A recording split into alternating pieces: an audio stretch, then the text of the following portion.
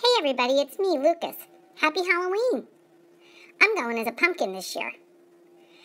I'm here today to talk to you a little bit about safety because this is a big day and it can be a really bad day if you're not careful with your pet. So, first, I want to talk about chocolate. Boy, it sure seems like it should taste good, but it's pretty dangerous. So, please keep it where your dog can't reach it. And remember, jack o' lanterns look great, but those candles can tilt over easy, so be careful. Everybody should have a safe place for their dog. Be sure they're there today. But just in case they get past that, let's make sure everybody has on a collar and ID tags. And you need to have a recent photo of your pet on hand just in case they get away.